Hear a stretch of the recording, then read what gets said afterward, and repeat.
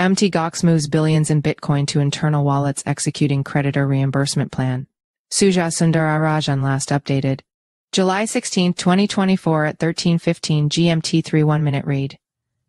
Mt. Gox, the now defunct crypto exchange that went bankrupt in 2014, has apparently transferred $2.7 billion in Bitcoin to an unknown wallet on Tuesday. According to data tracked by Arkham Intelligence, a wallet associated with Mt. Gox started moving bitcoins to internal wallets, possibly as a part of its creditor reimbursement plan. The defunct exchange wallet initially moved 0.021 bitcoins to a certain address, which is presumably a test transfer. Eventually, the Mt. Gox Cold Wallet moved a significant 44,527 BTC, $2.84 billion, to an internal wallet. According to on-chain sleuth Lookonchain, the transfer indicates that the beleaguered company may be preparing for repayment. As a result of the exchange's mass Bitcoin move, the leading cryptocurrency by, market cap fell 3% on renewed movement.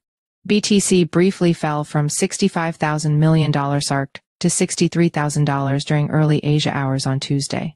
Mt. Gox's promise to repay creditors in July the recent transfer aligns with the exchange's repayment plan announced in June. Mt. Gox said that it will start to repay assets stolen from clients in a 2014 hack in the first week of July, years after moving deadlines.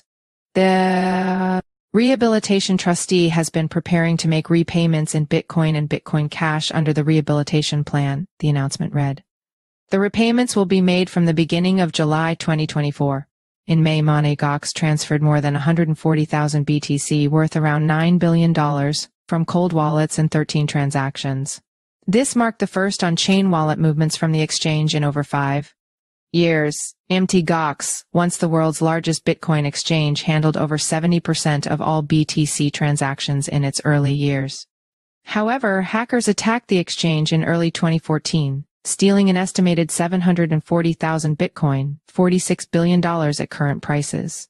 The recent transfers spur fears of mass selling by creditors who have waited for a decade to receive these reimbursements. Follow us on Google News.